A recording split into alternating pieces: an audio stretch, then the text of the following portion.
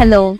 So I walked into Urban Skin and Hair Clinic uh, one and a half month ago, I guess, and I came with few uh, complaints of my own, like oily skin, few acne marks, and a lot of pimple due to PCOS. Not that I was insecure with the way I look, but with my wedding coming up, I didn't want to do a lot of makeup and wanted my skin to look beautiful naturally. So Dr. Kiran suggested me few treatments, few pills, chemical peels, and over one and a half months I have had them at the gap of I guess a week or so, and the staff has been following up for every treatment made sure that uh, the time was comfortable for me. When I walked in, I didn't have to wait a long and they were very warm and greeted with a smile. And it gave me a very good experience as a patient that i didn't feel like i was a patient. I felt just like any other uh, member of the family that they were treating. And uh, i would say it's just not me who is complimenting for my skin right now